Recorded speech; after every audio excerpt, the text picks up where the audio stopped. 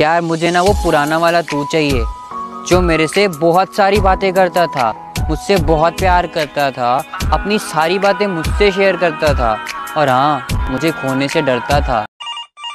Hello पूछो जरा पूछो मुझे क्या हुआ है? क्या हुआ है तुमको?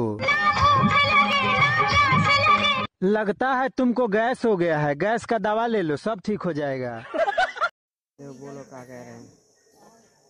बोलो तुम क्या कह रहे हैं वीडियो बना रहे तो ये तुम्हारा काम अच्छा है।